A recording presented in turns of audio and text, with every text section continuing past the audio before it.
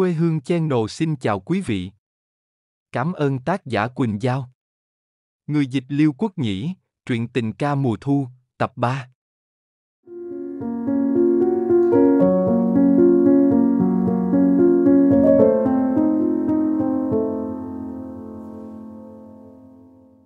Chương 7, suốt mấy ngày liền, Thiên Thạch đều theo cha mẹ đi thăm viếng bạn bè, ngày nào cũng ăn cơm khách. Trong bàn tiệc lúc nào cũng được hỏi những câu hỏi giống nhau. Thạch cảm thấy mệt mỏi nhưng cũng không thể ở nhà. Cao lương Mỹ vị quá nhiều chất béo, làm Thạch muốn rối loạn tiêu hóa. Thấy thái độ của con, ông ái cũng biết. Vì thế, với những tiệc mời không quan trọng ông cũng tự khước từ. Thạch được nghỉ ở nhà. Dù chỉ là một ngày nhưng Thạch thấy nhẹ đi thật nhiều. Hôm ấy chàng nhờ cô Thúy nấu cho một nồi cháo trắng và một ít cải khô. Thạch đã ăn một hơi ba chén, ăn xong thấy thoải mái vô cùng, Thạch vương vai, vừa lúc Thiên Mỹ bước vào với nụ cười, bệnh thật hay giả bộ đấy, ai giả bộ bao giờ. Hôm qua bị rối loạn tiêu hóa, bữa nay còn chưa lại sức. Cô ngồi đây đi. Từ hôm về đến giờ, tôi không có dịp nói chuyện nhiều với cô, Thiên Mỹ gọi cô Thúy vào dọn dẹp bát đĩa. Vừa ngồi xuống đã nghe Thạch hỏi, bé Dung đâu rồi, nó theo mẹ đi chợ rồi, mẹ có vẻ cưng nó đấy. Có nó, cha mẹ cũng có vẻ vui phần nào, nhưng cháu ngoại thì bao giờ cũng là cháu ngoại. Bao giờ anh lập gia đình và có con, mẹ sẽ thích hơn. Ồ.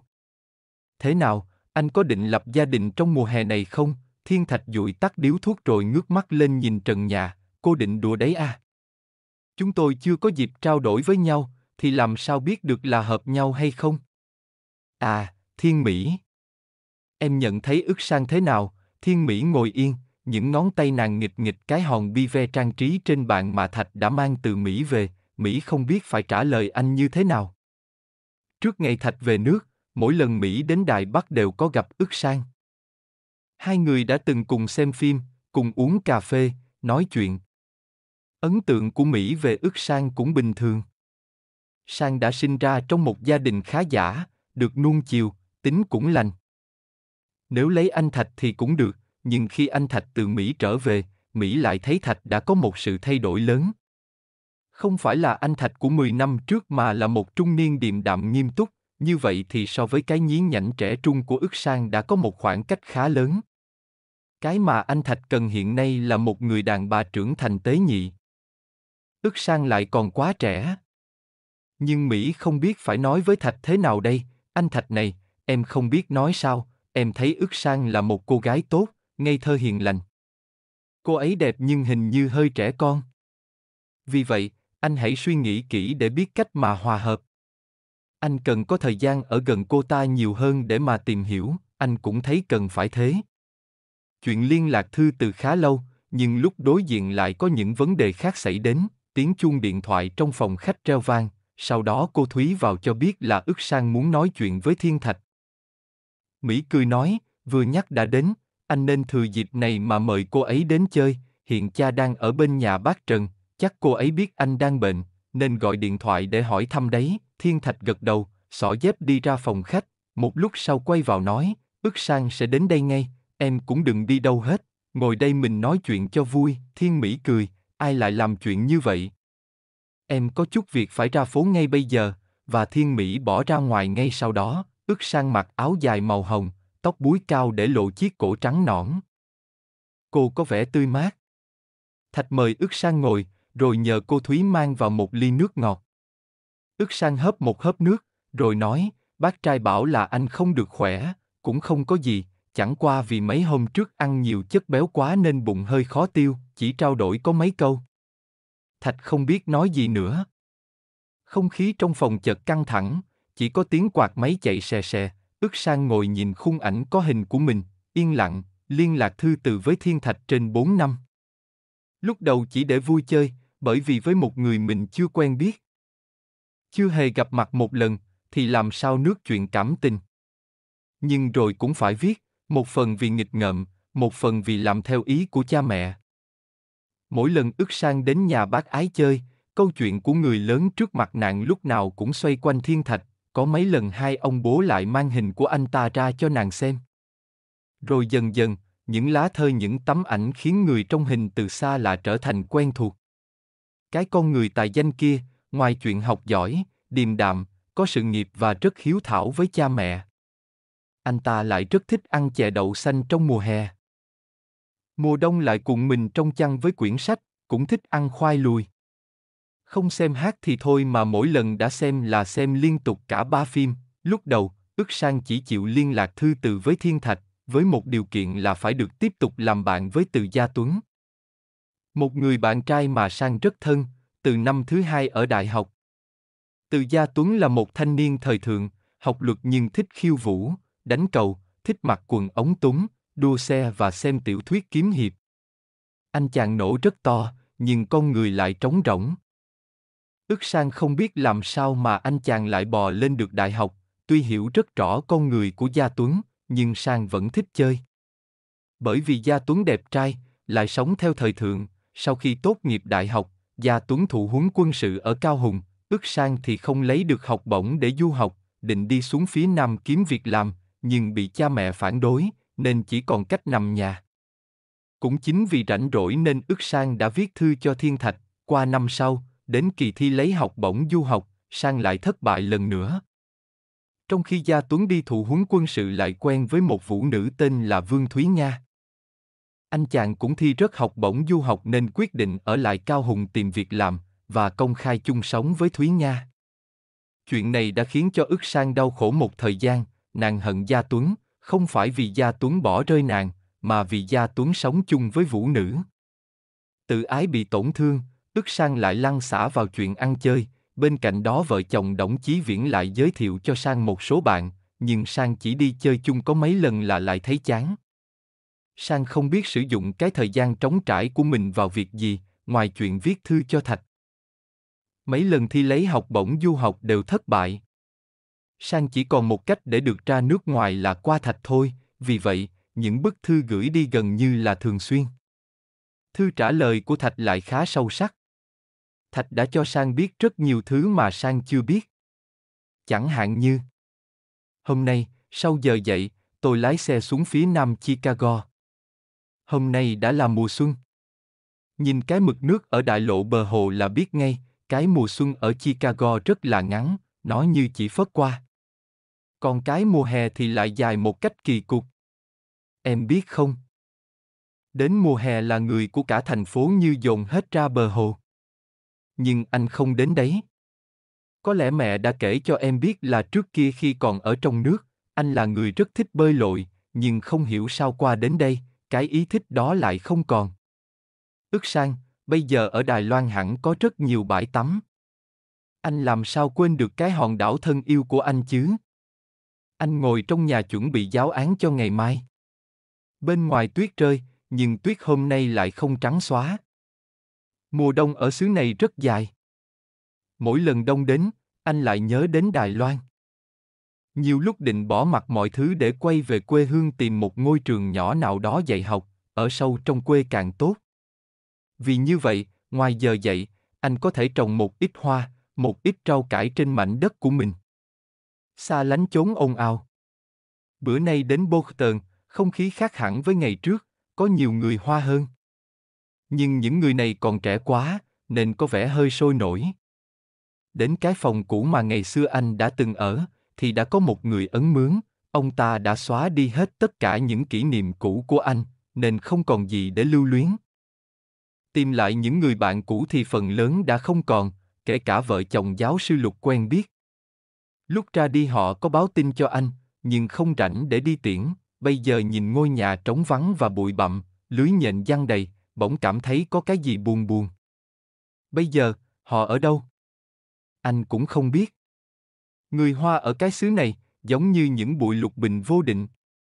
Nhưng có thế nào cũng không thoát khỏi sự cô đơn. Mỗi lần nghĩ đến chuyện 10 năm trước là lòng lại sao xuyến. Buồn có, vui có. Có một số người nhìn anh mà trầm trồ.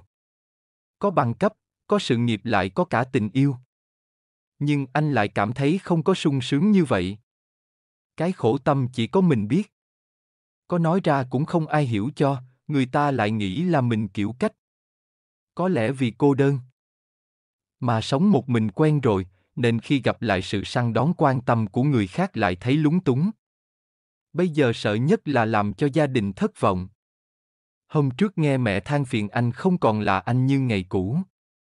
Ngay từ đầu cha mẹ của ước sang cũng đã ngầm cho ước sang biết là nếu mọi chuyện êm đẹp thì có thể tiến đến hôn nhân, để sau đấy sang sẽ được theo chồng đi Mỹ. Sang thì chỉ im lặng với thái độ chờ xem, mãi cho đến khi chuyện viết thơ biến cái sự quen biết thành tự nhiên, thì Sang mới có ý định là chấp nhận nhưng cũng phải chờ. Cái gì cũng phải đợi mặt đối mặt, thế bây giờ ước Sang thấy thế nào? Có thất vọng không? Phần nào? Vì Thiên Thạch chỉ mới trên 30, vậy mà người lại già trước tuổi. Lúc đầu Sang đã lầm tưởng đấy là sự thận trọng. Nhưng rồi khi tiếp xúc, Sang lại mới hiểu ra là một thứ muộn phiền tiêu cực. Sang thật khó hiểu.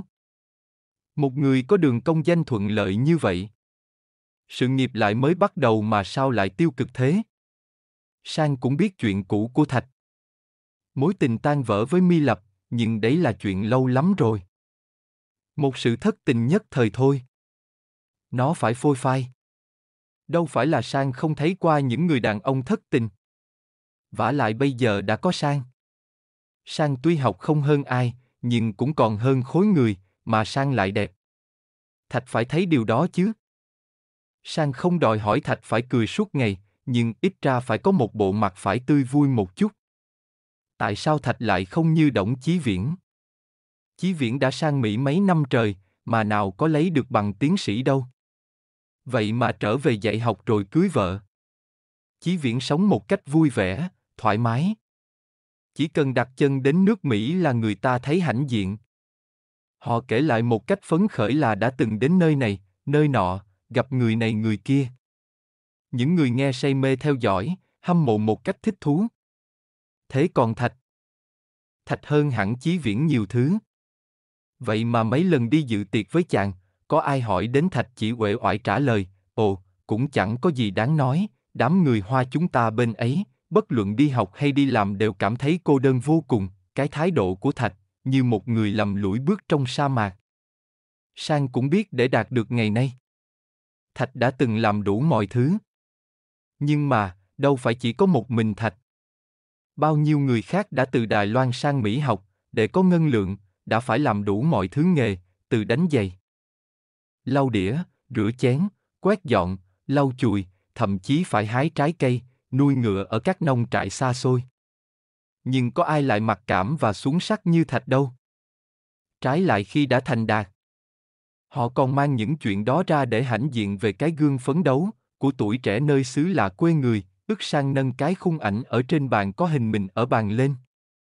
Cái khung ảnh này khá đặc biệt, gồm hai tấm kiến rời ghép lại, có trục sắt ở giữa chịu lại, do đó không có phần khung nhôm hay gỗ bên ngoài hạn chế chu vi, vì vậy ảnh đẹp hơn. Nổi bật hơn. Ước sang trong ảnh đang cười, nụ cười thật trạng rỡ, khung ảnh đẹp quá, sang nói, đem khung ảnh ở trong nước ra so, thì thật một trời một vực, thạch đứng dậy bước ra phía sau sang, cùng ngắm. Người trong ảnh đang hướng mắt về phía chàng. Khuôn mặt trẻ với ánh mắt đợi chờ, ánh mắt long lanh. Chợt thạch đặt tay lên phần vai trần của sang, rồi cúi xuống hôn nhẹ lên ấy, đây là lần đầu tiên, chúng ta riêng rẽ bên nhau, phải không ước sang, ước sang không ngờ thạch lại chạm đến người nàng. Một sự tiếp xúc dịu dàng nhưng không có cái nhiệt tình của tình yêu. Ngày trước khi mới quen từ Gia Tuấn, khiêu vũ hai lần, là trên chiếc xích lô đưa về nhà, Gia Tuấn đã thô bạo cúi xuống hôn nàng. Sang đã đẩy Gia Tuấn ra giận dữ, nhưng Gia Tuấn chỉ trố mắt nhìn nàng và nói một cách tự nhiên, làm gì mà em lại cổ lỗ sĩ như vậy? Ở Mỹ người ta chỉ cần đưa bạn gái đi chơi một lần là đã hôn nhau. Còn chúng ta dù gì cũng đã là bạn cũ rồi, đương nhiên là Sang vẫn còn giận, nhưng điều mà Gia Tuấn nói không phải là không có lý. Từ sách báo, phim ảnh đến tiểu thuyết của Mỹ, Sang đã thấy điều đó. Ở Mỹ, hôn nhau chỉ là một hành động biểu lộ tình cảm. Đó là chưa nói giữa nàng và Gia Tuấn dù gì cũng có một chút cảm tình. Thô bạo là một phần bản chất của người đàn ông. Đàn ông phải có mới lôi cuốn được phụ nữ. Còn cái thái độ hiên nay của Thạch, nó mềm yếu và xa lạ quá. Phải chăng vì còn một chút ngượng ngùng, vâng, lần đầu tiên. cũng nhờ anh bệnh đấy, bằng không chẳng biết bao giờ chúng ta mới có cơ hội này, Thạch không đi vào vấn đề nói, về đây, anh sợ tiệc tùng quá, làm gì mà ngày nào cũng phải đến nhà hàng. Rồi phải giữ lễ, mệt quá, vậy mà em tưởng là các anh về đây phải thích chuyện đó lắm chứ.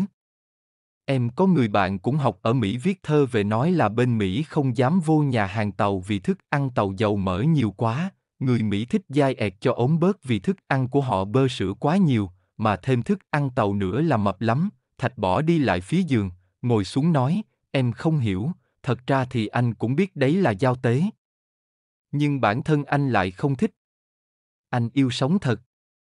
À. Hôm nay, không phải tiệc tùng, em dẫn anh ra quán cốc. Ăn quà vặt đi, sao nghe nói là anh đang đau bụng cơ mà, cái đó không quan trọng. Chẳng qua là vì dầu mỡ làm nặng bụng, bây giờ chúng ta ăn những món ăn nhẹ rồi thả rong trên phố, như một khách nhàn du sau bao ngày xa nhà trở lại, chứ không phải với tư cách là một sinh viên du học mới về. Được không?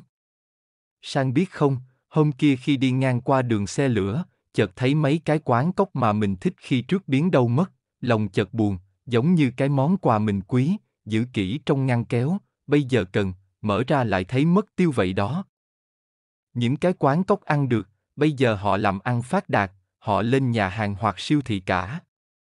Chẳng hạn như mì xào của ông Ngô, bánh chiên ông lò, nhưng anh tin là mùi vị của nó hẳn không giống như ngày xưa. Ước sang chợt quay qua hỏi, ở Mỹ, có quán cốc không? Có chứ, nhưng thức ăn lại đơn điệu, phần lớn chỉ có món hot dog, sandwich và pizza, thế à?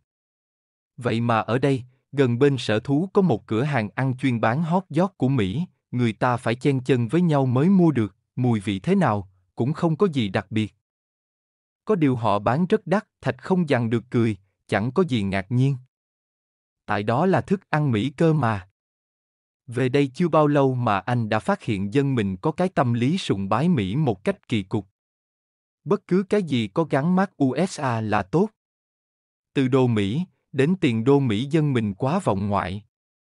Như vậy không tốt, mình phải tự hào về nước mình chứ, anh cũng sang Mỹ học, cái đó không phải là vì sùng bái Mỹ ư.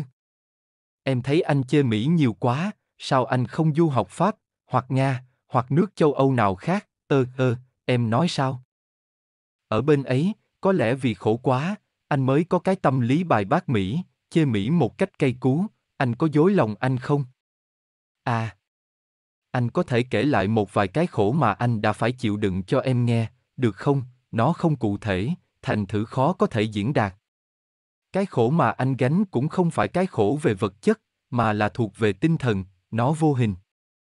Có sống ở nước Mỹ, bên cạnh những thằng da trắng, em mới thấy là mình cô lập, lẻ loi.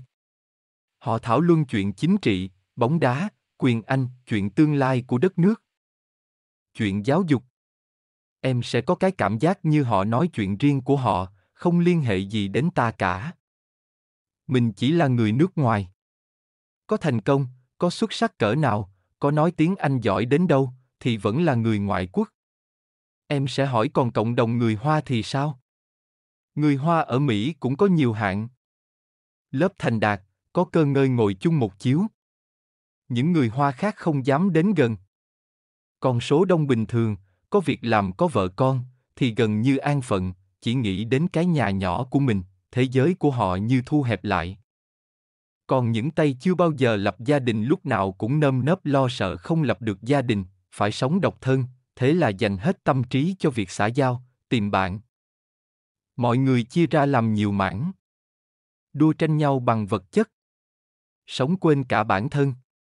Kết quả, mỗi người là một hòn đảo biệt lập chung quanh chỉ là nỗi cô đơn, em không tin là ở Mỹ, tệ đến vậy, họ đã đào tạo anh thành tiến sĩ, mà anh cứ chê bai Mỹ, có phải đó là một sự phản phúc không? Anh không buồn, nhưng cũng không vui. Anh không yêu nước Mỹ, mặc dù ở đấy anh đã thành công. Chưa thất bại. Nhưng anh vẫn thích về đây hơn, không phải vì đời sống ở đây thoải mái hơn mà là vì tình cảm.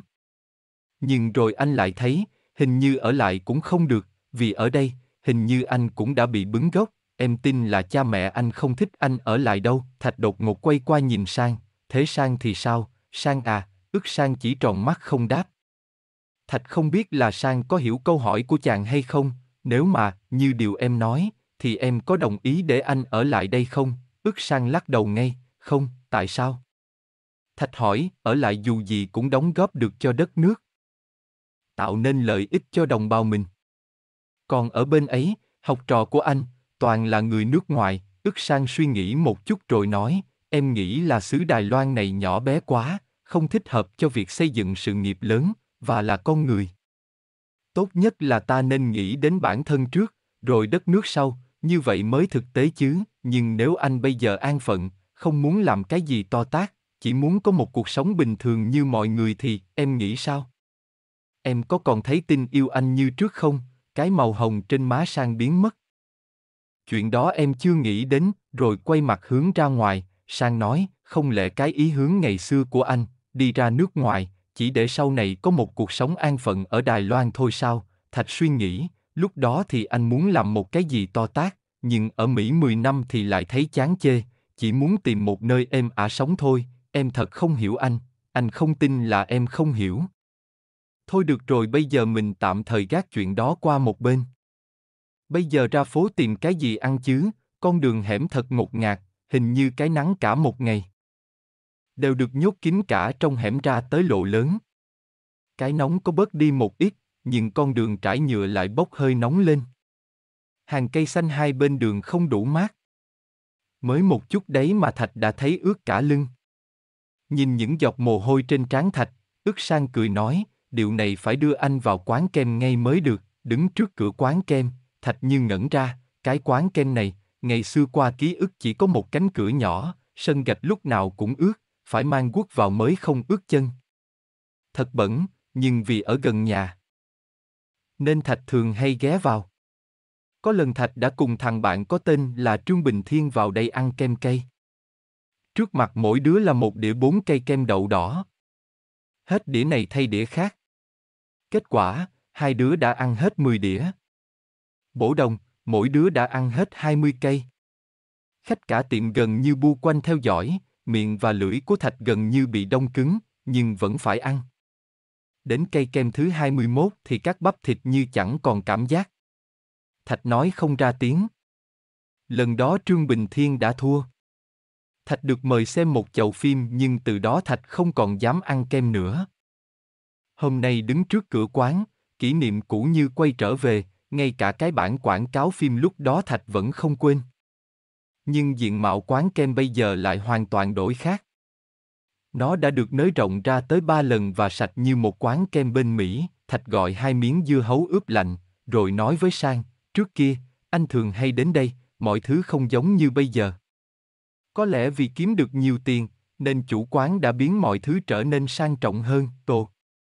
Anh không biết đấy chứ, đây là quán kem nổi tiếng nhất, nó còn mở cả chi nhánh nữa. Kem ở đây ngon nên rất đắt khách, ông chủ bây giờ có những mấy cái biệt thự, còn cái thì đều ở cả nước Mỹ, sao chuyện gì cũng dính đến nước Mỹ. Thạch nghĩ, những người ăn nên làm ra phải có con cái ở Mỹ thì mới là giai cấp giàu sang, dưa hấu ngon quá, em có cần ăn thêm không? À. Mà cái ông ngày xưa nổi tiếng là vua dưa hấu bây giờ vẫn còn sống chứ, còn, nhưng ông ấy đã kinh doanh ngành khác. À, anh Thạch, dưa hấu ở Mỹ có ngon không? Lại cũng Mỹ, tại sao ở đây lại kỳ cục vậy? Không lẽ mặt trăng ở Mỹ cũng tròn hơn ở đây sao? Ồ. Theo em thì dưa hấu ở Mỹ ngọt hơn ở Trung Quốc à, cái thái độ châm biếm của Thạch khiến Sang thấy khó chịu, anh thật là kỳ. Em chỉ muốn hỏi cho biết vậy thôi. Thôi được rồi, bảo họ tính tiền, rồi mình đi nào, em sẽ đưa anh đi dạo phố, cả hai bước ra ngoài, sang gọi chiếc xích lô đi về hướng Hoành Dương. Những dãy nhà hai bên phố thật đồ sộ, đẹp mắt nhưng Thạch lại thấy bức trước. Thạch và Sang ít ra cũng trên trăm ký, trong khi gã đạp xích lô lại vừa gầy vừa yếu. Thạch không dám nhìn qua nhưng cũng có thể hình dung dưới cái nắng gay gắt. Những giọt mồ hôi đã ướt đẫm cả lưng người, gã xích lô còng lưng mà cố đạp. Thạch nhớ lại cái thời còn đi học trong nước, chàng với Mi Lập mỗi người một chiếc xe đạp, cũng mồ hôi nhưng hạnh phúc dường nào. Thạch ít khi ngồi xích lô, chỉ vì một lần trời mưa, Thạch và Mi Lập đã ngồi xích lô với chiếc dù trên tay, mưa đã làm cho cả hai như ngăn cách hẳn với thế giới bên ngoài, lúc đó Thạch nào còn tâm trí đâu mà nghĩ đến người đạp xe, mà nếu có hẳn cũng không có cái cảm nghĩ như bây giờ. Xe vừa đến vườn hoa, Thạch vội và khoát tay cho xe dừng lại. Ước sang ngạc nhiên, ngừng ở đây làm gì vậy, xuống đây được rồi, mình đi bộ một quả nờ dê cho vui, Thạch lấy ví ra, đưa cho gã xích lô trên trăm bạc, gã cảm ơn rối rít và tò mò nhìn chàng với ánh mắt danh cho người bệnh tâm thần, ức sang không hài lòng, sao anh trả chi nhiều vậy, em không thấy trời quá nóng. Bắt người ta chở nặng thế này tội quá, số tiền anh trả cho hắn nếu tính sang đô la chỉ có mấy cắt bạc, trị giá có hai lon coca thôi, hèn gì người ta bảo những tay ở Mỹ về vung tiền như nước, Thạch thấy sang đã hiểu lầm mình. Vội nói, không phải là anh muốn cố tình phô trương là mình vừa ở Mỹ về. Mà chẳng qua vì anh thấy bức trước với cái cực khổ của người khác. Thôi được rồi đừng nhắc chuyện đó nữa. Chúng ta vào công viên xem qua một vòng đi, công viên bây giờ không còn cái bộ mặt sơ sát của ngày cũ. Dưới ánh nắng chói chang là một màu đỏ lóa mắt. Những hàng lan can, những cái xích đu, tàu hỏa dành cho trẻ con, rồi cả những tiểu đình, với hoa văn đẹp lôi cuốn khách. Nhưng Thạch đi một vòng lại có cái cảm giác cái công viên này, nó giống như một cô gái quê mà bắt phải mặc âu phục. Nên đã bị biến chất.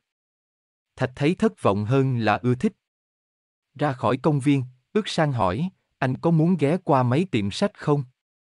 Nghe bác gái ở nhà nói, ngày xưa anh thích quanh quẩn mãi trong tiệm sách mà, Thạch liếc nhanh về phía sang, bất giác chàng nhớ đến mi lập của 10 năm về trước, sang cười có phần nào giống mi lập, có lẽ vì cái tuổi gần nhau. Thạch nói nhanh, cũng được, nghe nói ở Đài Loan bây giờ sách dịch cũng nhiều lắm, để vào đấy xem có cái gì mua không, sách dịch quá nhiều đến độ Thạch phải kinh ngạc. Từ khoa học kỹ thuật đến nhân văn. Có cả những sách nguyên bản bằng Anh ngữ. Thạch hỏi người bán sách, ở đây có nhiều người đọc tiểu thuyết bằng Anh ngữ lắm à, có chứ, nhưng phần lớn chúng tôi cung ứng cho người Mỹ, Thạch đi dọc theo mấy quầy sách. Mắt như hoa hẳn, sách rất nhiều nhưng phần lớn là của những tác giả Thạch không nghe tiếng. Có lẽ vì Thạch đã xa xứ 10 năm, chàng lại không có thời gian đọc sách ngoài chuyên môn của mình nên không biết, chiều đã xuống, nhưng cái nóng vẫn còn đấy. Cả hai lại quay ra phố. Người qua lại trên đường đông đến muốn ngọc thở. Thạch đề nghị, chúng ta tìm một chỗ nào mát để nghỉ đi, để em đưa anh tới khu thế giới mới.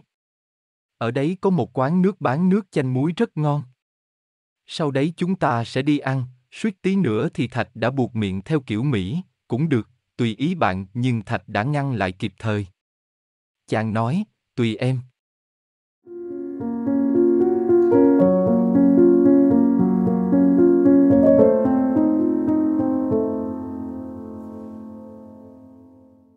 Chương 8 Sau khi uống xong ly nước chanh muối, cả hai men theo đại lộ, đến khu vực giải trí. Mặt trời sắp xuống núi, mà màn đêm lại chưa đến, nên ráng chiều phủ ngập không gian. Cái nóng vẫn còn đấy. Mùi mồ hôi và tiếng nhạc dậm dật, tiếng kèn xe in ỏi, tiếng máy nổ, tiếng người nói cười, khiến cho không khí căng thẳng muốn ngọc thở. Thạch vừa đi vừa né tránh, ức sang đi bên cạnh, thấy vậy cười nói, anh làm gì mà mệt như vậy, chưa bao giờ tiếng ồn lại khủng khiếp như thế này, rồi nhìn thấy đôi mày của ức sang châu lại, Thạch giải thích, ở bên Mỹ. Bất cứ thành phố nào cũng ngập đầy xe, nhưng người ta đâu có sử dụng kèn một cách tự tiện và bừa bãi như vậy. Người ta chỉ sử dụng nó trong những trường hợp như để gọi xe trước, báo cho biết là quên mở đèn, hoặc cửa đóng không kín, hay xe bị xì bánh. Còn người đi bộ thì đương nhiên cũng có, như ở New York, Chicago, trong những giờ cao điểm lúc tan sở, mà họ đi thì rất có trật tự chứ nào có chen lấn như ở đây đâu, cái đó thì cũng không trách được, nhất là trong những tháng nóng. Ở đây ai cũng đổ xô ra đường để tìm một làn gió mát. Chỉ có cách đi ra phố như thế này là đổi gió kinh tế nhất, trong khi ở Mỹ thì ngược lại.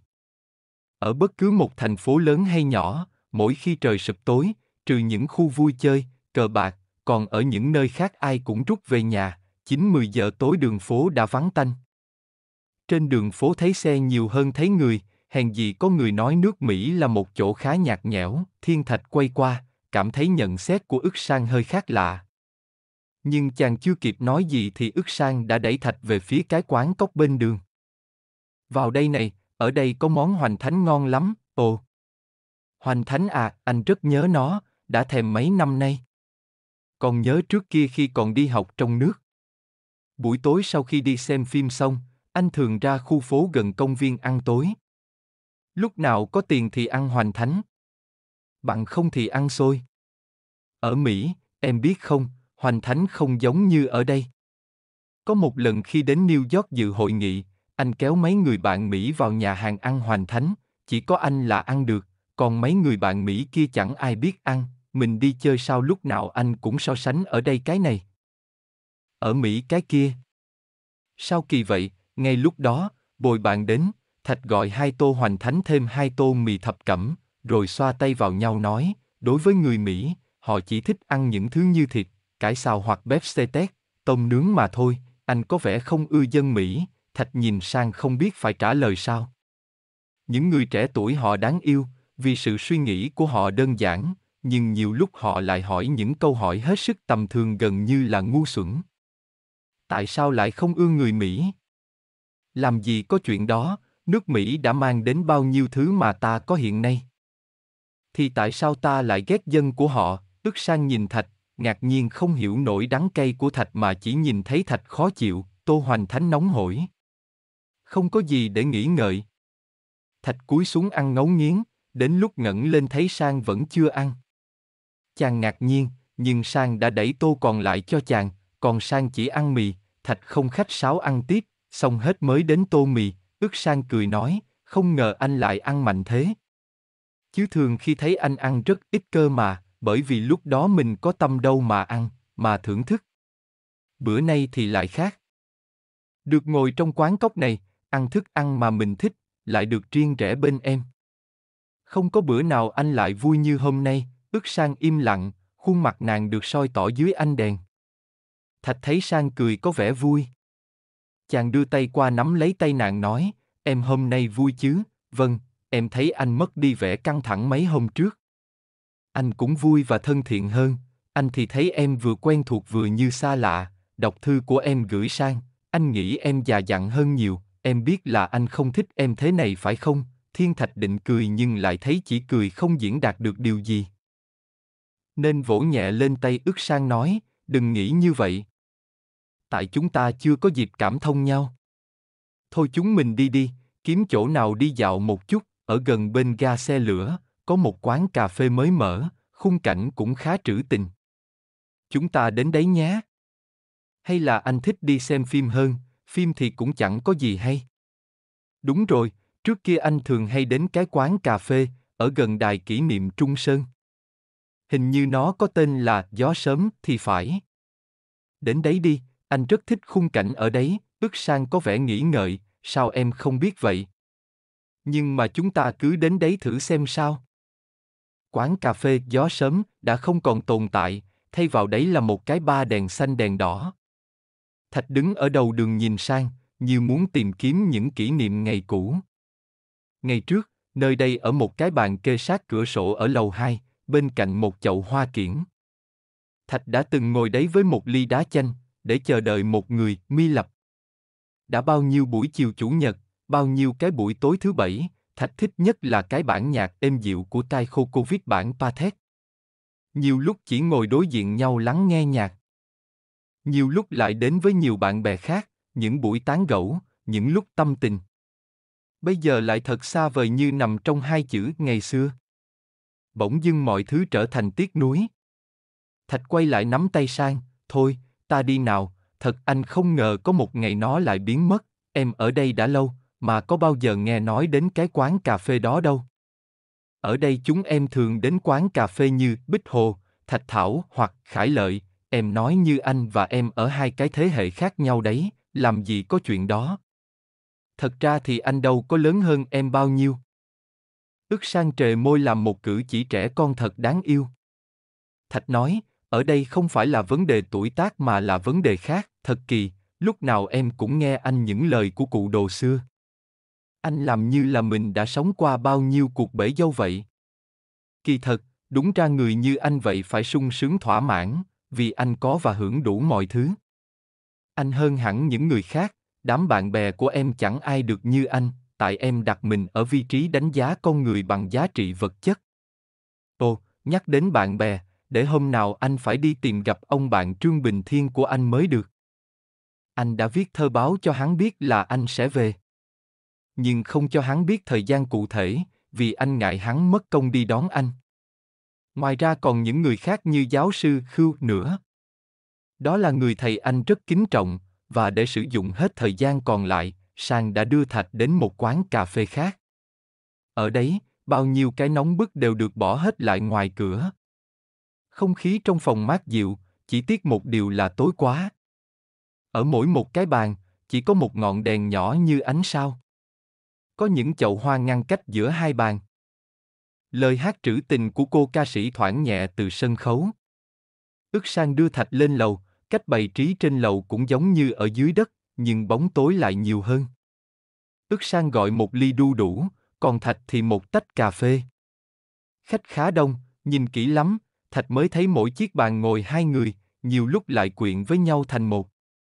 Bàn nào cũng vậy. Thạch chợt phân vân. Không biết ngày xưa Thạch với Mi Lập khi đến quán có giống như vậy không? Nhưng chắc hẳn là không. Không những trong quán cà phê mà cả trong khuôn viên nhà trường lúc vắng vẻ. Hay trong sở thú.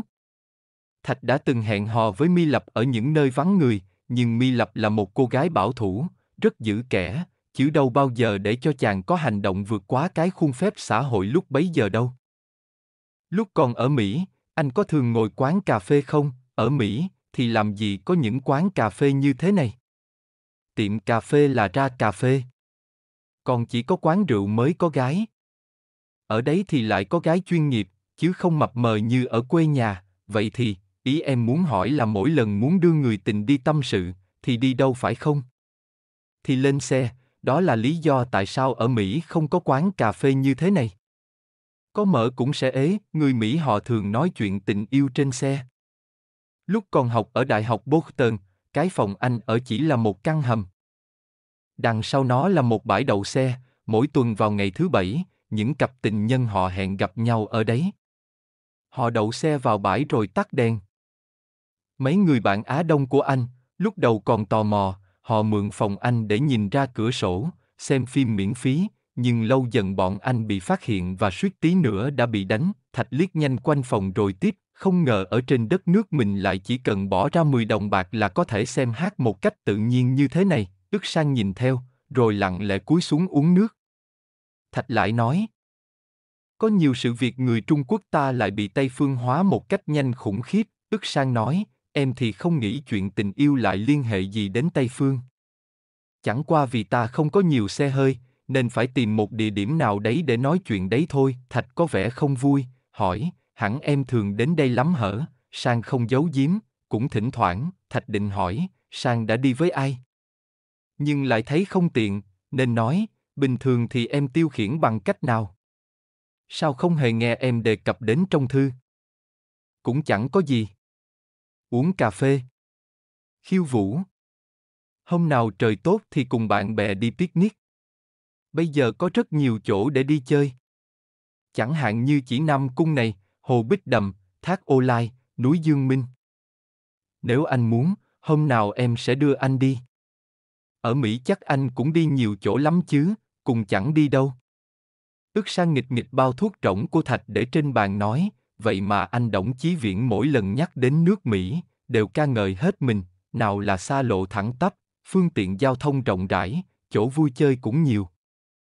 Người Mỹ lại nhiệt tình, cái gì cũng được điện khí hóa, muốn ăn gì mặc gì cũng đều có cả, thật là một thiên đàng khác hẳn với những gì anh nói, không lẽ có hai nước Mỹ. Em biết tin ai bây giờ, vậy thì anh hỏi em thế này nhé. Nếu thật sự nước Mỹ giống như những điều anh nói thì em có còn muốn sang đấy nữa không? Ước sang suy nghĩ một chút rồi nói, em vẫn muốn đi, tại sao? Ước sang cúi thấp đầu, rồi nói, vì anh, thạch như gặp một bất ngờ, ngẩn ra. Chàng hớp một ngụm cà phê rồi đốt thêm điếu thuốc, mới nói. Ví dụ như bây giờ anh quyết định ở lại, thì em có ở lại với anh không? Hay là vẫn định đi Mỹ, giờ đến phiên ước sang bất ngờ? Nàng lúng túng rồi nói, em biết là chẳng bao giờ có chuyện đó.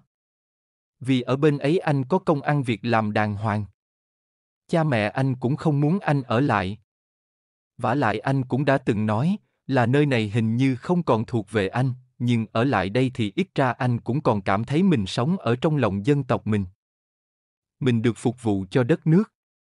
Ngoài ra với cái bằng cấp mà anh có, chắc chắn anh phải có một sự ưu đãi về vật chất nào đấy. Anh cũng có địa vị, có thể ăn được món mình thích ăn. vả lại bây giờ, cha mẹ anh cũng đã già, anh muốn sống bên cạnh người một thời gian, để săn sóc và hưởng những ngày tháng êm đềm còn cha mẹ. Còn chuyện sự nghiệp bên ấy, đương nhiên cũng có nhưng nó cũng không đến độ tuyệt đỉnh quang vinh như mọi người ở đây nghĩ. Anh có thể bỏ mà không tiếc nuối, anh chỉ nói cho vui vậy thôi, phải không? Chứ ai đâu chịu bỏ những cái mình đang có, Thạch chăm chú nhìn sang, rồi nói, em chưa trả lời câu hỏi của anh cơ mà, dĩ nhiên là em rất muốn được cùng anh sang Mỹ. Nhưng nếu anh đã quyết định không đi thì em cũng chịu thôi, Thạch cười, dụi tắt điếu thuốc rồi cầm tay sang lên nói, em nói thế là thế nào? Em không còn cách nào đi, hay là em bỏ ý định đi? Đó là hai vấn đề hoàn toàn khác nhau đó nhé, Sang cũng cười, em chịu thua. Em nói không lại anh, nhưng em biết rồi anh sẽ quay lại Mỹ, Thiên Thạch bây giờ đã hiểu được phần nào ý của Sang. Chàng không muốn để cho Sang ở thế khó xử. Thư từ liên lạc đã 4 năm. Nhưng Thạch vẫn chưa hiểu được cái nếp sống và sở thích của Sang, Thạch đã ngạc nhiên vô cùng. Khi thấy Sang không những sành sỏi về loại âm nhạc kích động của Mỹ, ca sĩ nào nổi tiếng, minh tinh nào có xì căng đan. Sang đều có thể trình bày một cách trôi chảy như chuyện riêng tư của chính mình. Thời còn đi học, Thạch đã từng say mê phim ảnh, nhưng đâu có đến độ cuồng nhiệt như vậy đâu. Thạch cũng đã được sang hỏi Hollywood như thế nào. Chàng bảo đó chỉ là một thành phố nhỏ dơ và không yên ổn. Rõ ràng là chàng đã từng sống suốt cả một mùa đông ở Los Angeles làm sao lại không biết chuyện đó, vậy mà em có một người bạn. Anh ruột của anh ta làm việc ở một căn cứ quân sự Mỹ tại nước ta. Một lần sếp của anh ấy về Mỹ nghỉ phép. Anh ta đưa chúng em vào nhà của ông sếp đó chơi. Phong khách thật tuyệt vời sang trọng một cách không ngờ. Toàn bộ vật dụng, trang trí đều mang từ Mỹ qua. Trên tường là ảnh của các tài tử Mỹ. Có một bức là Shirley Temple đứng trước một rạp hát ở Hollywood. Anh ta còn bảo là cái mặt tiền của rạp hát đó đầy các dấu tay và chữ ký của các minh tinh nổi tiếng ở Mỹ. Chuyện đó có thật không? À, Thạch chỉ à một tiếng. Rồi nhìn vào đồng hồ rồi nói, hơn 11 giờ khuya rồi. Ta về đi kẻo tối. Chúng ta sẽ đi bằng xe bus nhé, Thạch đề nghị, có lẽ chàng muốn tìm về với những kỷ niệm xa xưa, họ cùng đi ra trạm xe. Ở đấy đã có sẵn mấy khuôn mặt mệt mỏi. Đêm khá khuya nên không khí có vẻ ẩm, ngột ngạt. Chợt có tiếng còi xe lửa.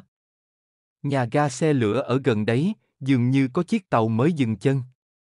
Con đường náo động hẳn lên. Mấy tay xích lô, rồi taxi đổ dồn đến phía đó kiếm khách. Một lúc sau, những người ít tiền mang hành lý khệ nệ đến bến xe bus. Xe tới, Thạch và Sang lên xe, những người tới sau cũng vội vã lên. Có một bà lão gánh đôi giống, thêm một túi nải bên người leo lên xe đứng trước mặt Thạch. Thạch vội và đứng dậy nhường chỗ. Nhưng bà lão đã lắc đầu, đứng yên. Đôi tay bám chặt lấy tay vịn trên cao. Thạch còn đang ngạc nhiên thì Sang đã kéo tay chàng ngồi xuống, rồi mới nói nhỏ vào tai chàng, đây không phải là nước Mỹ, anh ạ, à, Thạch lắc đầu, ở trên xe bus hoặc xe điện ngầm ở nước Mỹ không có những chuyện như vậy. Anh cũng không phải tốt lành gì, chỉ tại thấy bà lão đã quá già lại gánh nặng như vậy nên muốn nhường chỗ thôi. Ngay lúc đó, chiếc xe chợt thắng gấp. Bà lão đứng không vững đã ngã nhào, chiếc tay nải trên vai văng ra xa. Thiên Thạch vội và đứng lên đỡ bà lão dậy, để bà ngồi chỗ ban nãy của mình, rồi đi nhặt tay nải. Bà lão có vẻ xúc động nhe răng cảm ơn rối rít. Thạch hướng mắt nhìn xuống đường.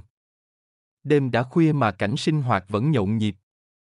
Thạch nhớ đến cái thời đi học ở trường Boston bên Mỹ. Chàng cũng thường đạp xe về nhà thật khuya, con đường mà Thạch đạp xe qua rộng hơn đường này gấp hai lần mà thật vắng. Gần như chỉ có một mình chàng. Đêm mùa hè tối đen và gió lạnh. Thạch mệt mỏi nhưng vẫn phải giữ cho đầu tỉnh táo để về đến căn gác hẹp của mình một cách an toàn. Nhiều người hẳn không hiểu lý do tại sao Thạch lại sợ như vậy. Chẳng qua con đường mà chàng di phải ngang qua nhà giáo sư Lục. Ở đấy có gia lợi. Giờ Thạch về là giờ gia lợi còn thức, nàng thường ngồi đọc sách hay nghe nhạc dưới lầu. Cửa sổ phòng còn ánh đèn sáng trưng. Có lẽ gia lợi không ngủ được. Đã bao lần đi qua, Thạch đã muốn đến tận khung cửa sổ, không phải để nói gì với gia lợi cả. Mà chỉ muốn nhìn vào thử xem, gia lợi có thật sự tồn tại ở bên trong không. Khoảng cách giữa hai người chỉ là một bức tường gạch, vậy mà không hiểu sao Thạch lại không có can đảm. Chính Thạch nhiều khi đã nhận xét mình. Có khí phách đấy nhưng lại thiếu sự can đảm, có ai lay lay bên người. Thạch giật mình. À, thì ra xe đã đến cửa đông. Thạch và ức sang vội vã xuống xe, anh đang nghĩ ngợi gì đấy, không có gì. Chỉ là chuyện của người xưa. À, em về nhà ngay hay là còn sang nhà anh chơi, tùy anh, sang nói, dù gì thì mẹ em cũng biết là em đi chơi với anh cơ mà. Thiên Thạch nhìn vào đồng hồ, thôi, để anh đưa em về vậy. Để không mẹ em lại hiểu lầm rằng lúc sống ở Mỹ, anh hay đi chơi đêm thì cũng mệt, mẹ không bao giờ nghĩ như vậy đâu, Sang nói, mẹ nói với em trong anh già dặn chứ không giống như người mới ra đời, mẹ cũng khen anh chững chạc hơn cả Đổng Chí Viễn, Thạch không biết nói sao, chỉ đáp, có lẽ vì mới về đây, mọi thứ còn chưa quen, nên anh hơi ngơ ngác. Nhưng từ từ rồi đâu sẽ vào đấy mà. Thôi nào, để anh gọi xích lô đưa em về, ngồi trên xích lô, bác Sa Phu đạp nhanh nên Thạch thấy mát. Đêm mùa hạ êm ả một cách dễ thương, nhà của Sang ở khoảng giữa đường nhân ái. Ở đấy vắng vẻ cảnh càng hữu tình. Mọi phiền muộn bức trước trong người Thạch như tan mất.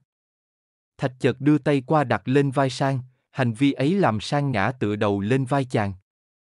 Có thoang thoảng mùi hương của mái tóc Sang, Thạch không dằn nổi lòng, cúi xuống hôn nhẹ lên mái tóc nàng.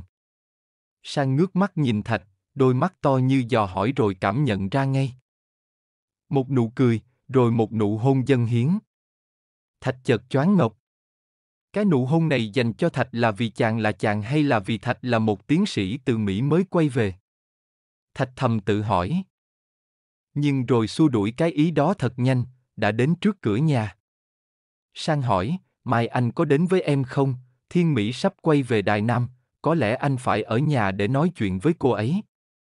Mấy hôm trầy bận quá, không có thì giờ tâm sự với nó được, vậy thì mốt nhé, mốt có lẽ phải đến gặp giáo sư Khưu, sang yên lặng trong bóng đêm, Thạch phải nói, chúng ta còn nhiều thời gian mà em, nhưng mà... Cha mẹ lại nôn nóng, cha mẹ em nôn nóng cái gì chứ, sang có vẻ lúng túng, họ nôn nóng, muốn thấy chúng ta lúc nào cũng gần nhau. Để tìm hiểu, anh nào phải là không nghĩ đến chuyện đó. Nhưng mà anh còn ở đây cả tháng trời. Anh đã xin phép nhà trường nghỉ dạy nguyên cả một học kỳ lận. Mùa đông anh mới quay về bên ấy, ồ, vậy mà em tưởng anh chỉ ở lại đây hết mùa hè này thôi, trên danh nghĩa thì như vậy, nhưng thật ra thì anh đã xin phép rồi. Anh nghĩ với thời gian dài như vậy anh mới tìm hiểu được nhiều thứ, chơi cũng được nhiều, nhưng em đừng cho cha mẹ biết chuyện này nhé. Đài Loan và nước Mỹ như hai thế giới khác nhau. Anh muốn đi một vòng Đài Loan. Em cùng đi với anh chứ, chỉ có anh và em, Thạch cười, xoa xoa đầu của Sang, cũng được, nhưng cũng có thể là có cả thiên Mỹ cùng đi. Thôi được rồi, chuyện đó tính sau, em vào nhà đi, ngày mai anh sẽ phone cho em nhé.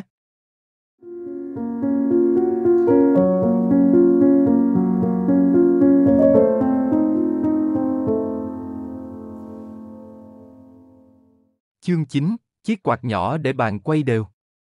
Thiên Mỹ ngồi trong phòng khách, tay cầm quyển tạp chí điện ảnh. Cái tạp chí mà ngay ngoài bìa là hình một cô đào nổi tiếng. Ngay từ thời còn ở trung học, Mỹ đã thích xem loại tạp chí này vô cùng. Mãi đến bây giờ, cái thói quen đó vẫn không thay đổi, thấy anh bước vào, Thiên Mỹ ngẩng đầu lên hỏi, sao? Đi chơi có vui không? Cũng không có đi đâu nhiều, ăn hoành thánh, rồi đến quán rồng xanh gì đó uống nước. Ờ, dân đài Bắc bây giờ đông quá, đi đâu cũng phải chen lấn, Thiên Mỹ cười nhẹ chuyện đó cũng tự nhiên thôi. Đất đai thì chỉ có một chút, mà dân số thì cứ gia tăng thì làm sao mà không phải chen.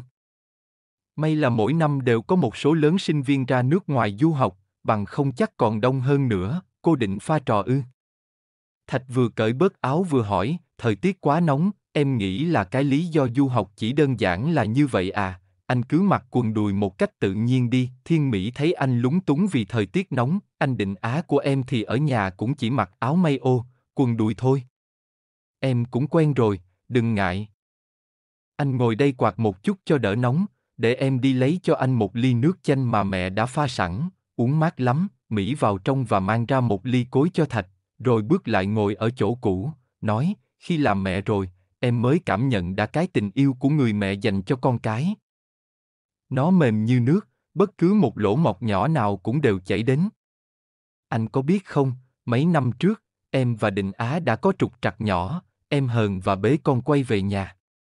Cha có vẻ không hài lòng, lúc nào cũng lên lớp chuyện tam tòng tứ đức. Còn mẹ thì khác. Mẹ không nói gì cả chỉ lặng lặng chăm sóc bé Dung Dung.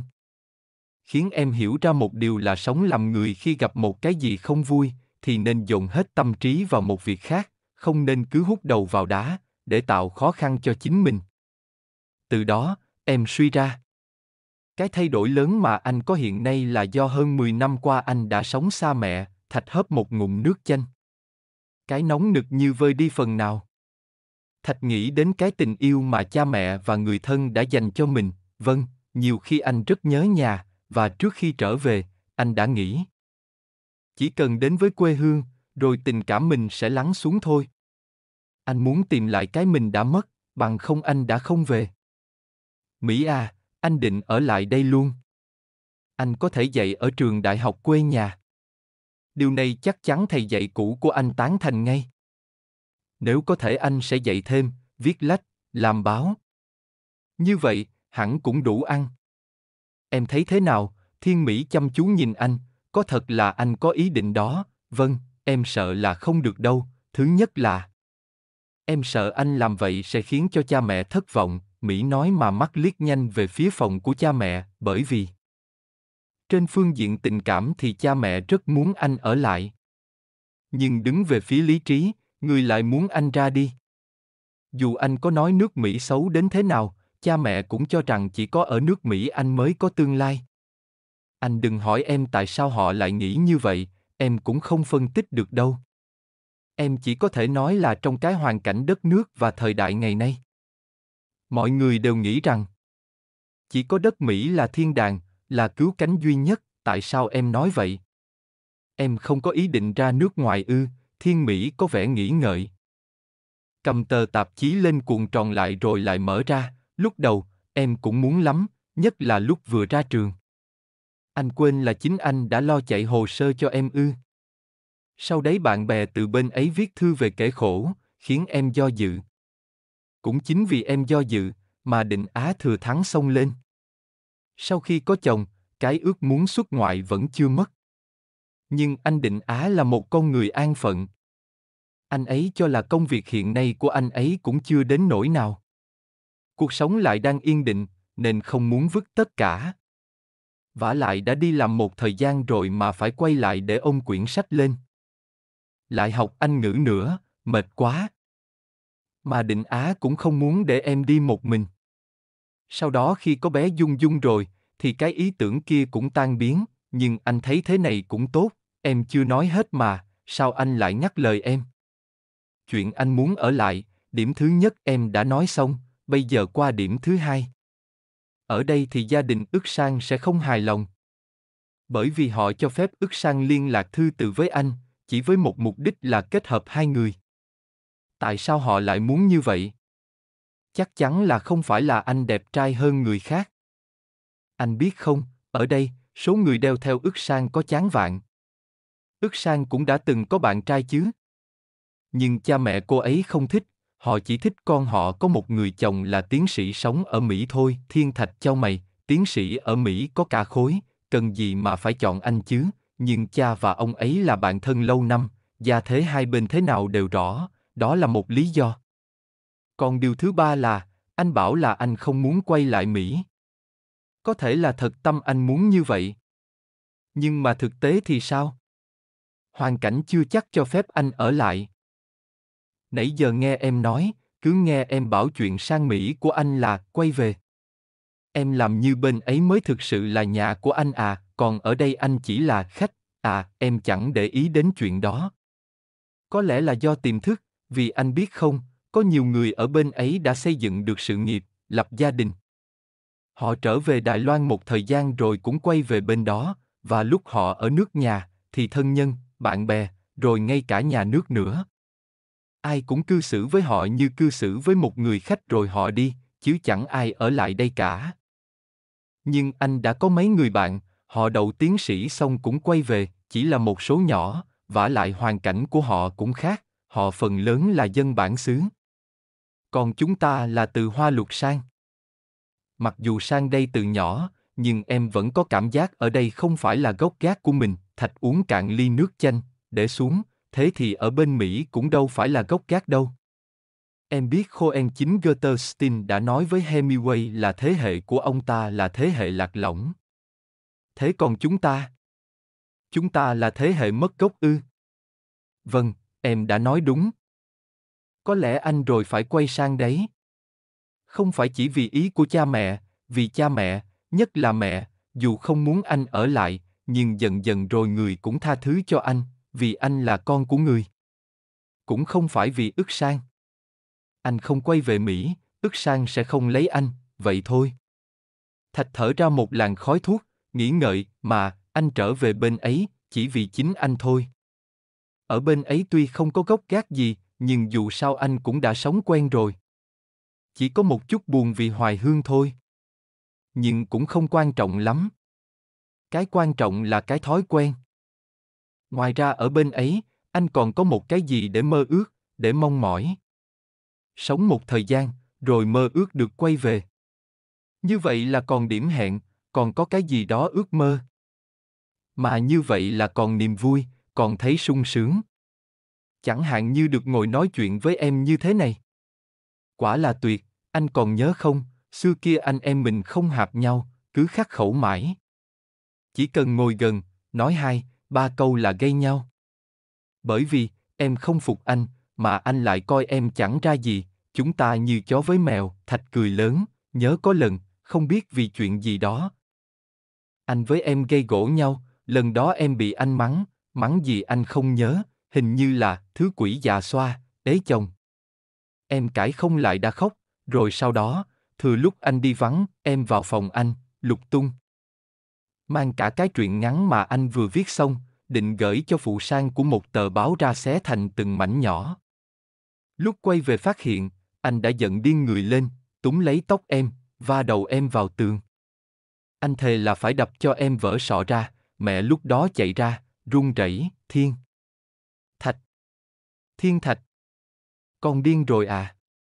Có buông em con, ra không? Nếu không, mẹ sẽ gọi điện thoại cho cảnh sát. Em còn nhớ chuyện đó chứ, nhớ, em làm sao quên được. Bây giờ phía sau đầu em vẫn còn một khối u, mỗi lần thời tiết thay đổi là em bị nhức đầu, Thiên Thạch ngưng cười lo lắng, thật như vậy à, Thiên Mỹ cười lên, nhưng rồi lại sợ đánh thức cha mẹ, nên ngưng lại, hù anh thôi. Nhưng mà anh biết không, sau lần đó em học tục hạng hẳn, có lẽ vì anh đánh mạnh tay quá nên học ngu đi, sau này anh thường nhớ đến chuyện đó và không ngờ tất cả chúng ta đều trở thành người lớn rồi. Có lúc lại khờ khạo nghĩ rằng về nước gặp nhau có còn gây gỗ nữa không? Hay là lại cư xử một cách khách sáo như những người xa lạ? Bây giờ, nghĩ lại thật thấy buồn cười. Dù gì mình cũng là người lớn rồi, phải không em? Thiên Mỹ thấy một niềm vui thoảng nhẹ, cái ông anh sau bao năm thăng trầm đậu được bằng tiến sĩ, đã cư xử với em gái một cách hòa nhã và hòa đồng. Mỹ sốt sắng hỏi, anh có cần uống thêm không? Em vào lấy cho, thôi đủ rồi, cảm ơn em, thái độ của Thạch làm Mỹ thấy buồn cười.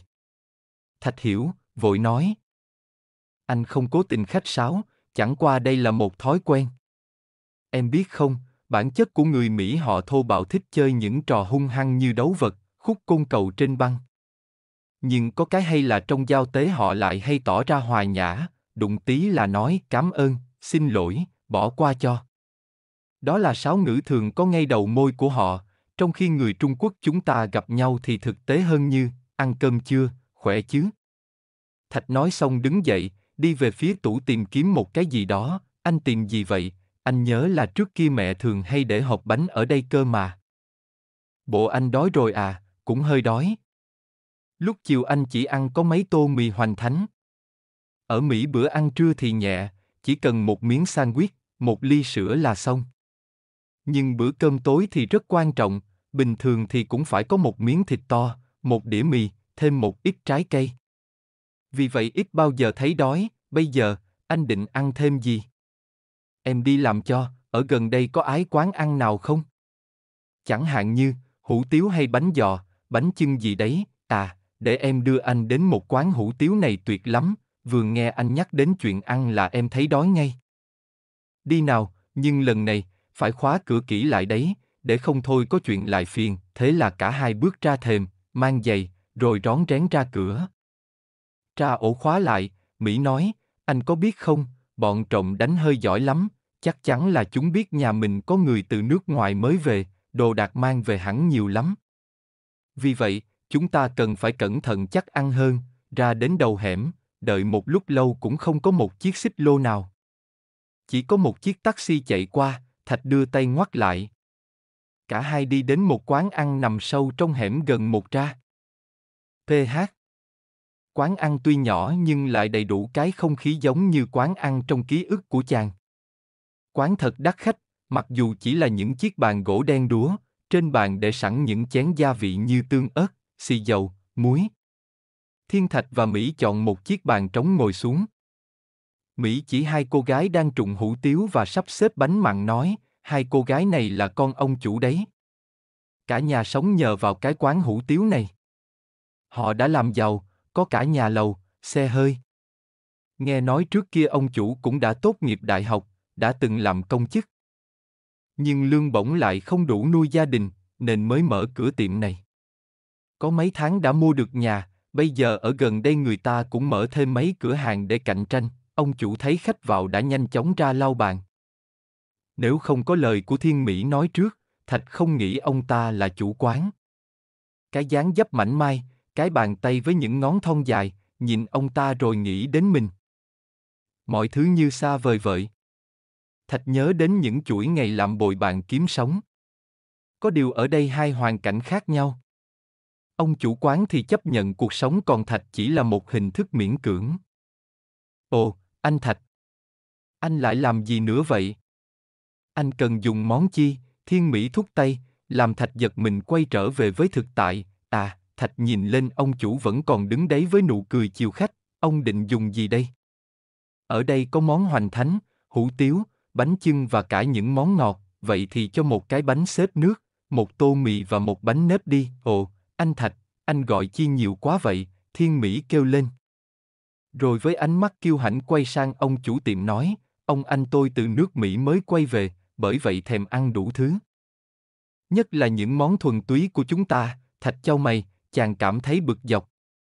Chàng không muốn ai nhắc đến chuyện ở nước Mỹ, nhưng đã không còn kịp, ông chủ đã không mình một cách cung kính nói, xin có lời chia vui, thế ông ở Mỹ làm gì? Vẫn còn đi học hay đi làm, Mỹ đã dành nói, anh tôi đã đậu tiến sĩ, hiện đang dạy đại học bên ấy đấy, ồ, vậy thì vinh hạnh quá. Ông có thể cho chúng tôi biết quý danh không? Thiên Thạch miễn cưỡng nói, tôi là Ái Thiên Thạch, rồi quay sang Thiên Mỹ, Thạch tiếp, anh thấy đói quá em ạ. À. Ông chủ quán vội vã vào trong, có lẽ ông đã nói gì với hai cô con gái. Thạch thấy hai cô gái nhìn chăm chú về phía chàng. Thiên Mỹ có vẻ hãnh diện, anh Thạch, người ta đang ngắm anh kìa, cũng tại em cả, nói cho họ biết những thứ đó để làm gì. Mấy hôm trời anh đã quá ngán ngẩm chuyện đó, muốn quên đi, em lại nhắc tới. Một hồi nữa ông chủ tiệm có già lời, hỏi này hỏi nọ thì em trả lời đấy, anh không biết đâu. Đàn bà các em thật nhiều chuyện, ông chủ quán đã mang hai tô bánh xếp nước, mì và bánh nếp ra. Chiếc bàn nhỏ để đầy cả tô chén. Thiên Thạch sợ ông ta gặn hỏi, nên vội và cúi xuống ăn ngay. Mỹ ngồi đối diện, sợ anh phỏng miệng, phải nhắc, thức ăn nóng đấy, Thạch ăn mà nước mắt chảy cả ra ngoài, Thiên Mỹ nhìn Thạch cười nói, anh về chưa đầy nửa tháng mà bản chất con người cũ đã hiện nguyên hình. Anh làm như đói khát cả 10 năm vậy, còn phải nói. Anh thèm nói những 10 năm. Thạch tiếp tục ăn, vừa ăn, vừa nói, tuyệt thật. Ngon tuyệt. Chỉ những thức ăn này không cũng đáng để ở lại. Con người có cực nhọc trên đời không phải cũng chỉ vì miếng ăn đó thôi sao? Nếu có tiền mà không được ăn ngon thì đi làm để làm gì? Nếu vậy từ đây về sau, em sẽ đưa anh đến đây ăn luôn, đúng thế. Anh cũng cần nghiên cứu cái bí quyết thành công của họ rồi mang sang Mỹ, anh không cần phải đi dạy nữa. Chúng ta sẽ mở một cửa hàng ăn, chắc chắn sẽ phát tài, nghe nhiều người nói người Hoa chúng ta mà sang đấy mở cửa hàng ăn, đều thành công cả, phải không anh? Thiên Mỹ hỏi.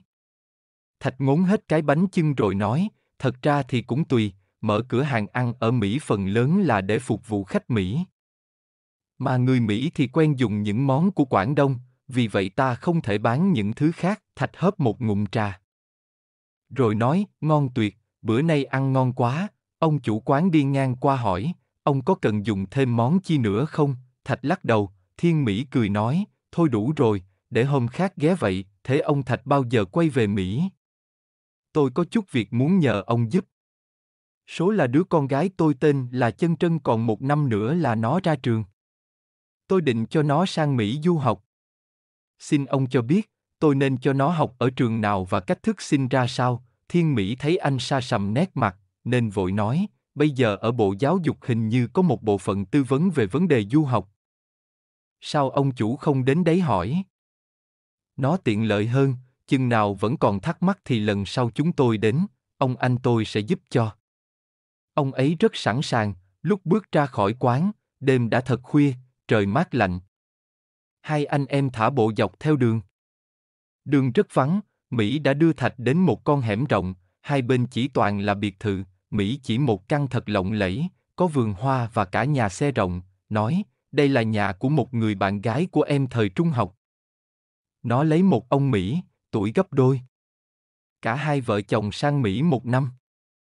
Có lẽ vì không thích hợp với đời sống bên ấy, nó quay về một mình.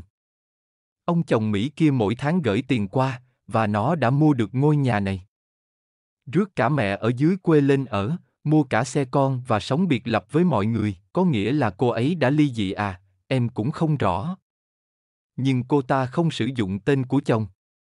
Đấy anh xem tấm biển ở trước cổng biệt thự kìa, thế tại sao cô ấy lại sống biệt lập với mọi người, em cũng không rõ. Nhưng trước khi lấy chồng thì nó sống một cách hết sức hồn nhiên. Khi từ Mỹ trở về, có đôi lần em gặp nó, con người hoàn toàn đổi khác. Nó lạnh lùng, nói năng một cách lịch sự, nhưng xa cách. Thái độ lại có vẻ rất chán chường, Thiên Thạch nhìn vào ngôi nhà thật lâu, rồi nói, lần sau có về Đài Bắc, em nên đến thăm cô ta. Có lẽ vì cô ấy mặc cảm, vì lấy Mỹ sợ người ta khinh rẻ nên nó mới tỏ ra ngăn cách với mọi người, rồi họ quay ra đường, về gần đến nhà Thạch hỏi, em quyết định ngày mai sẽ quay về Đài Nam thật à, vâng, để anh định Á ở một mình lâu quá, anh ấy sẽ không vui. Mấy hôm trước em có nhận được thư. Mặc dù không bị hối thúc, nhưng lại nghe anh ấy than khổ, nào là nhớ bé Dung Dung, nào là cô người làm nấu ăn không ngon. Thôi thì em phải quay về vậy. Bao giờ anh xuống thăm chúng em, cho biết trước nhé, để em sắp xếp, anh cũng không nói trước được, vì anh cũng cần phải gặp giáo sư Khưu. Có lẽ nếu muốn xuống miền Nam thăm chúng em, anh sẽ cùng đi với ức sang, phải hỏi ý kiến của cha mẹ trước. Anh còn cần phải có thời gian để tìm hiểu ức sang. Vì mới có tiếp xúc mấy lần mà anh lại cảm thấy khoảng cách giữa anh và cô ấy khá lớn. Thiên Mỹ yên lặng. Với Mỹ, ức sang là một cô gái tốt, nhưng có lẽ vì hoàn cảnh sống quá được nuông chiều, nên ức sang hơi hời hợt, không sâu lắng như Thạch mong mỏi. Mỹ thấy thích cái đôn hậu của cô ta nhưng từ khi Thạch trở về đây, Mỹ cũng nhận ra cái không tương xứng của hai người. Con người của Thạch bây giờ cần phải có một người vợ cương nghị, đảm đang, và còn phải lạc quan nữa. Thế còn ức sang? Ức sang lại cần một người đàn ông biết chiều chuộng, mà điều này thì Thạch lại không có, vì vậy khi được Thạch hỏi. thì Mỹ chỉ có thể góp ý, anh Thạch à, giữa người với người lúc nào lại không có khoảng cách. Anh và ức sang chỉ quen nhau qua những lá thư, thì đương nhiên khi đối diện làm sao có sự hòa hợp dễ dàng. Anh nên tìm dịp để gần gũi cô ấy nhiều hơn. À, chuyện anh định đi với ước sang xuống thăm chúng em là một phương thức lý tưởng đấy. Bao giờ khởi hành thì nhớ thông báo trước nhé, về đến nhà đã khá khuya, mạnh ai nấy về phòng riêng. Thiên Thạch ngủ đến trưa hôm sau mới dậy. Khi thức dậy thì Thiên Mỹ đã đi rồi, cô nàng còn để lại mảnh giấy trên bàn thạch. Mong ông anh thu xếp xuống với mình sớm hơn. Thạch xỏ chân vào dép đi một vòng trong nhà. Nhà vắng Thiên Mỹ và bé Dung Dung, cái không khí chợt khác hẳn. Nó trống vắng và Thạch có cái cảm giác lạc lõng, Thạch vội mặc quần áo vào, nuốt vội mấy miếng bánh mì, hớp một chén cháo gà, rồi gọi điện thoại cho giáo sư Khưu. Nhưng được trả lời là hôm nay giáo sư không có ở nhà. Thạch thất vọng, quay trở về phòng lục tìm địa chỉ của Trương Bình Thiên, thiên ngụ ở thôn Trung Hòa. Thạch định đáp xe bus đến đấy để chứng tỏ với bạn là mình vẫn còn như thời đi học. Nhưng xa nhà đã mười mấy năm, Thạch quên mất, không biết muốn đến đấy phải đáp xe bus tuyến đường nào, trạm nằm ở đâu, hỏi cô Thúy thì cô Thúy cũng không biết, đành phải ngồi xe taxi vậy, cảnh trí ở thôn Trung Hòa hoàn toàn khác hẳn ngày cũ. Trước kia ở đây có rất nhiều cánh đồng hoang, nhờ dân thưa thớt, đường vào thôn lại chật hẹp. Vậy mà bây giờ lại có cả đại lộ. Phố buôn sang sát với những quầy hàng rực rỡ. Ánh mặt trời rực lửa, vậy mà người qua lại vẫn tấp nập. Rồi xe cộ chạy một cách không trật tự. Xe con vượt qua làn riêng dành cho xe bus. Tiếng kèn bóp một cách vô tội vạ, rồi tiếng chửi rủa. Thạch không nhịn được, vội bảo tài xế dừng lại, cho tôi xuống ở đây đi, tôi đi tìm nhà cũng được, rời khỏi con lộ lớn. Những con hẻm vẫn hẹp như ngày cũ. Đường thì đầy bụi. Những đứa trẻ mình trần đùa giỡn. Trời nóng như thiêu đốt. Trên tay người lớn nào cũng có một cây quạt.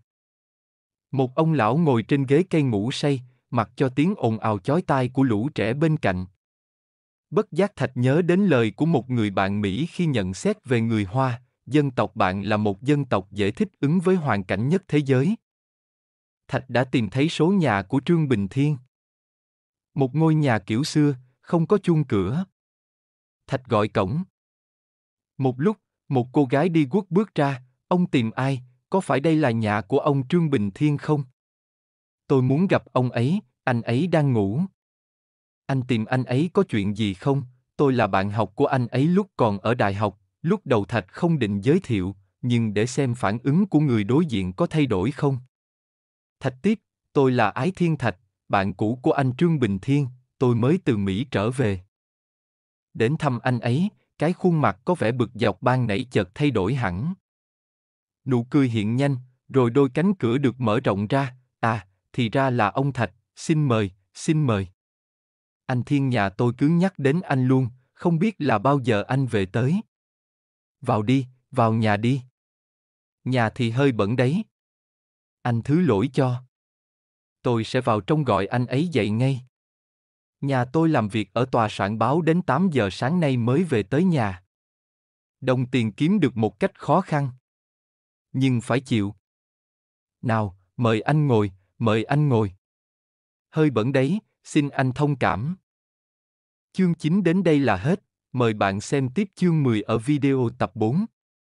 Bạn bấm nút subscribe, đăng ký, đó là nghĩa cử ân tình nhất, quê hương chen nộ cảm ơn bạn thật nhiều.